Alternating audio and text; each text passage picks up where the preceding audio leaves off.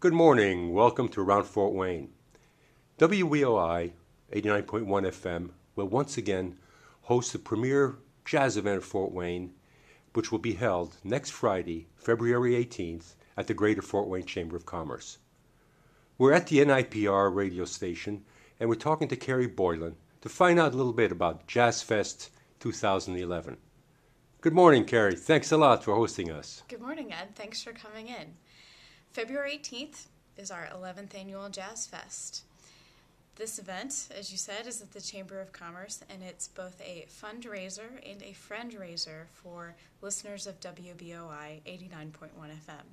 So we invite you to come down, and enjoy three levels of great jazz music from local favorites as well as some local high school and middle school jazz ensembles. Um, it's a great way to come and enjoy an evening of music and food and laughter, socialize with some of your Fort Wayne neighbors, and just support the station and uh, enrich your life with some great jazz music. Well, I've attended it a few times in the past, and the food is always fantastic. Who's hosting, uh, providing the food this year? That's a great question, Ed.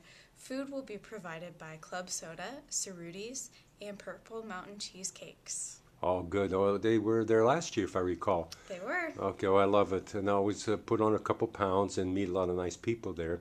Yeah, in terms of, I know you're uh, hosting the event. Uh, who are the sponsors uh, this year of the event? At least a few of them. They've always been part of our community, which makes Fort Wayne such a great place to live. We are so fortunate to have some great corporate sponsors. Uh, this year, Jazz Fest is being brought to you not only by WBOI, but O'Daniel at Porsche Audi and uh, Midwest America Federal Credit Union. Oh, fantastic. Well, anyway, we hope to see you all uh, on the 18th at the Greater Cham- Chamber. And thanks again, Carrie. Uh, say hello to all your colleagues. We appreciate what you do at the station. And have a great, great weekend. You too.